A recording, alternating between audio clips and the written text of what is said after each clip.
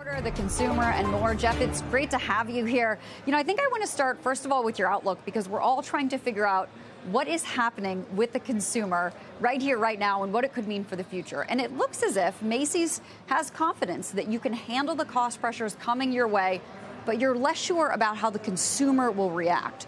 What are you thinking and seeing right now, and how did that factor into the guidance? So, what we're seeing now, Courtney, is that the consumer is healthy and and that's across all of the value um, when you're when you're looking at a customer basically who makes 75,000 and below, 75 to 150, as well as 150 and above. All of them, the customer count is up, the customer spend is up, uh, and so we expect that is what we're watching very carefully, particularly in the lower income customer. Um, what we clearly are seeing is a shift in categories that they're buying. They, they are really stalling on when you look at the kind of pandemic categories of casual, active, soft home, those have really slowed. And they've slowed markedly since the fourth quarter.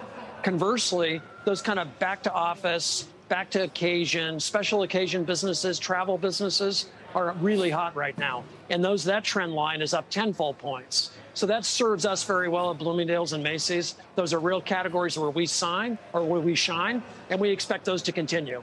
So, you know, my team is looking at that very carefully, but there's also a lot of macro conditions out there that we're watching carefully. So we took a more conservative view when we look at the outlook.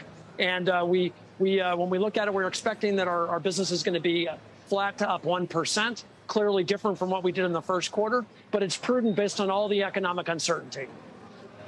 And what about the way that you're able to foresee and then manage the cost of doing business, the cost of fuel and freight and wages? What do you anticipate there?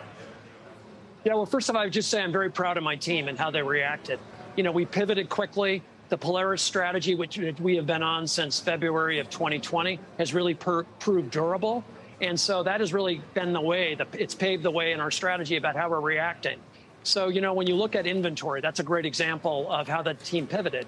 We clearly saw a slowdown in receipts that are coming in, and that was the opportunity for us to change what we did with on, on order. Uh, that started to come in differently. And now that we have more of that, that's starting to build. We now have great pricing science to work through that.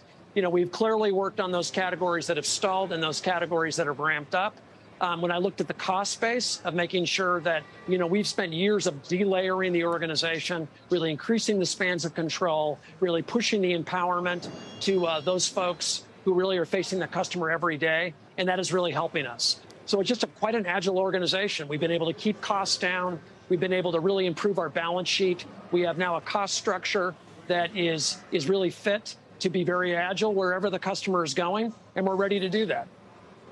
You speak about the agility. What if consumer preferences change again in the next two or three months? How quickly can you shift that inventory, particularly as you're looking to plan for that all important holiday season? Yeah, there's great signs there. First off, being a department store, we had the opportunity to shift across all of our categories. So the idea about a customer who isn't, you know, high right now on casual and active, but they're very high on dresses and men's clothing, we can do that. We've got great relationships with uh, with suppliers. And so, whatever our needs are, we've been able to tap into that.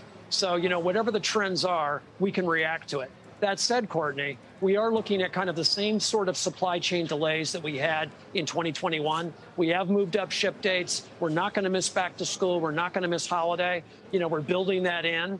And, uh, and, you know, it's still uncertain on the supply chain side.